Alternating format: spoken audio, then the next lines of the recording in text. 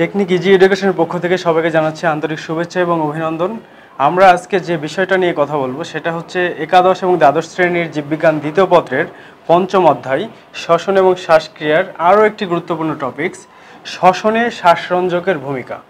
আমাদের যে প্রতিনিয়ত শ্বসন হচ্ছে, শ্বসন ক্রিয়া, শ্বাসক্রিয়া চলতেছে, এখানে শ্বাসরঞ্জকের কি ভূমিকা, এটা আমরা আজকে আজকে এই পর্বে দেখব। এখানে শ্বসনের শ্বাসসংযোগের ভূমিকা সম্পর্কে জানতে হলে আমাদের শ্বসন সম্পর্কে আর একটু আমরা ক্লিয়ার হব।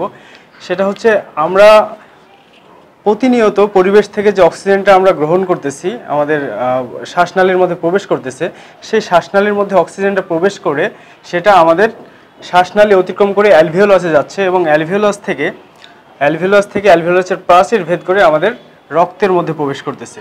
রক্তের মধ্যে অক্সিজেন প্রবেশ করে, এই রক্তের মধ্যে অবস্থিত কোষ মধ্য মানে রক্ত রক্তের মধ্যে অক্সিজেনটা প্রবেশ করে, সেটা আমাদের কোষে চলে যাচ্ছে এবং কোষ মধ্যস্থ খাদ্যবস্তুকে জারিত করতেছে। কোষ মধ্যস্থ খাদ্যবস্তুকে জারিত করে, অর্থাৎ অক্সিডেশন করে, সেখানে কি তৈরি হচ্ছে? কার্বন ডাইঅক্সাইড এবং অন্য উপ- উপজাত হিসাবে পানি তৈরি হচ্ছে। সেই কার্বন ডাইঅক্সাইড আবার বিভিন্ন শিরার মাধ্যমে আমাদের রক্তনালীর মধ্যে চলে আসতেছে এবং সেটা অ্যালভিওলাসের প্রাচীর দিয়ে অ্যালভিওলাসে প্রবেশ করে আবার শ্বাসনালী দিয়ে বাইরে নির্গত হচ্ছে। এটাই হচ্ছে আমাদের শ্বসন শ্বসন বা ব্রিদিং যেটা আমরা বলতেছি, সেটাই এটা। এখন আমরা দেখব যে শ্বসনের শ্বাসরঞ্জকের কি ভূমিকা আছে। আমরা জানি যে আমাদের লোহিত রক্তকণিকার মধ্যে হিমোগ্লোবিন থাকে এবং হিমোগ্লোবিনটাই আসলে শ্বাসরঞ্জক হিসাবে কাজ করে। এবং হিমোগ্লোবিনের কারণেই সাধারণত আমাদের রক্ত লাল হয়।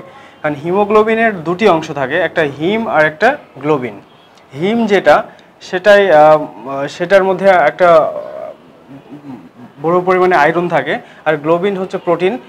এবং এটা নিয়ে আমরা আজকে দেখব যে হিমোগ্লোবিন হচ্ছে চারটি একক বিশিষ্ট একটা গোল একটা অণু। এখানে দেখা যাচ্ছে এটা হিমোগ্লোবিন। এর সাথে চারটা অক্সিজেন এখানে সংযুক্ত হয়েছে, হিমোগ্লোবিন তৈরি করতেছে। এখন হিমোগ্লোবিনকে যদি আমরা ভাঙি, তখন দেখা যাবে যে একটা হিম হিম আছে আর সেখানে গ্লোবিন আছে। Heme, globin. গ্লোবিন হচ্ছে প্রোটিন আর হিম যেটা এখানে হিমের সাথে আয়রন সংযুক্ত থাকে বা লৌহ থাকে।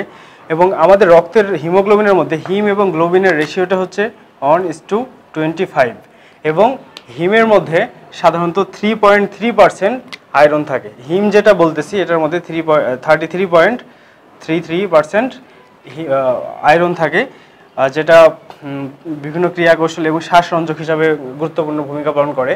এখন আমরা দেখব যে কীভাবে এই হিমোগ্লোবিনটা শ্বাসরঞ্জক হিসাবে বিশেষ ভূমিকা পালন করতেছে শ্বসনে। তাহলে আমরা দেখব যে হিমোগ্লোবিন অক্সিজেনের সাথে কীভাবে যুক্ত হচ্ছে। যে অক্সিজেনটা এখানে আমাদের পরিবেশ থেকে অক্সিজেনটা আসতেছে, আসার পরে আমাদের অ্যালভিওলাসের প্রাচীরে আসতেছে। অ্যালভিওলাসের প্রাচীর থেকে সে কৌশিক জালিকাতে প্রবেশ করতেছে। প্রবেশ করার পর রক্তনালীর মধ্যে, এই কৌশিক নালিকার মধ্যে বা পালমোনারি শিরার মধ্যে অন্যান্য রক্তকণিকার সাথে অনেক বেশি পরিমাণে থাকে লোহিত রক্তকণিকা। সেই লোহিত রক্তকণিকার সাথে সেটা যুক্ত হচ্ছে। লোহিত রক্তকণিকার মধ্যে যে হিমোগ্লোবিন আছে, হিমোগ্লোবিনের সাথে অক্সিজেনটা যুক্ত হচ্ছে। অক্সিজেন যুক্ত হয়ে অক্সি হিমোগ্লোবিন নামে একটা যৌগ তৈরি করতেছে, একটা শিথিল যৌগ তৈরি করতেছে। এবং এটা অক্সিজেনের চাপের উপরে আসলে নির্ভরশীল যে কতটুকু অক্সিজেন হিমোগ্লোবিনের সাথে সংযুক্ত হবে। যদি অক্সিজেন দ্রবীভূত অক্সিজেন, বিশেষ করে রক্তনালীর মধ্যে দ্রবীভূত অক্সিজেনের চাপ যদি বেশি থাকে, তাহলে বেশি পরিমাণ অক্সিজেন হিমোগ্লোবিনের সাথে সংযুক্ত হতে পারে। আর যদি চাপ কম থাকে, তাহলে সাধারণত হিমোগ্লোবিন আবার বিযুক্ত হওয়া শুরু করবে। যখন আমরা আমাদের বাইরে থেকে অক্সিজেনটা আসতেছে, তখন মোটামুটি আমাদের দ্রবীভূত অংশের রক্তের চাপ বেশি থাকলে বেশি পরিমাণে অক্সিজেন হিমোগ্লোবিনের সাথে যুক্ত হবে এবং অক্সি হিমোগ্লোবিন যৌগ তৈরি করবে এবং সেই যৌগটা আমাদের শ্বসনে বিশেষ ভূমিকা পালন করবে। আর কার্বন ডাইঅক্সাইড কীভাবে ভূমিকা কার্বন ডাইঅক্সাইডের সাথে কীভাবে যুক্ত হয়ে শ্বসনে ভূমিকা পালন করে সেটাও আমরা দেখব। আমাদের রক্তনালীর মধ্যে, পালমোনারি ধমনির মধ্যে বা আমাদের অক্সিজেনটা আমাদের কোষের মধ্যে প্রবেশ করার পর অক্সিজেনগুলো এবং আমাদের রক্তে খাদ্য, কোষ মধ্যস্থ খাদ্যবস্তুকে জারিত করে কার্বন ডাইঅক্সাইড তৈরি করতেছে বাই প্রোডাক্ট হিসাবে, উপজাত হিসাবে।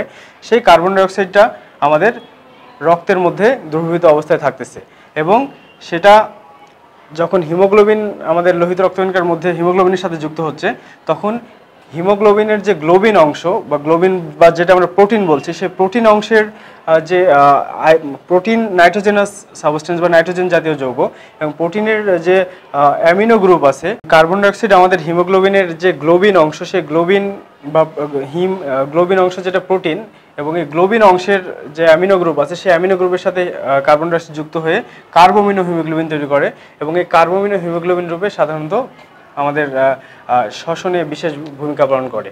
এবং আমাদের শ্বাসরঞ্জক যে হিমোগ্লোবিন, এই হিমোগ্লোবিনটা একাধারে অক্সিজেনের সাথে যুক্ত হয়ে যেমন অক্সি হিমোগ্লোবিন তৈরি করতেছে, আবার কার্বন ডাইঅক্সাইডের সাথে যুক্ত হয়ে হিমোগ্লোবিনের যে গ্লোবিনের, গ্লোবিন অংশ, সেটা কার্বোমিনো হিমোগ্লোবিন তৈরি করতেছে।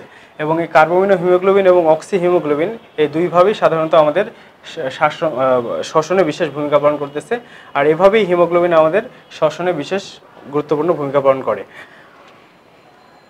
প্রিয় শিক্ষার্থীরা, আজকে আমরা জানলাম শাসনে শাসনযোগের ভূমিকা। আমরা পরবর্তী পরবর্তী পর্বে আমরা এই চ্যাপ্টারে আরও গুরুত্বপূর্ণ যে টপিকসগুলো আছে, সেই টপিকসগুলো নিয়ে আলোচনা করব।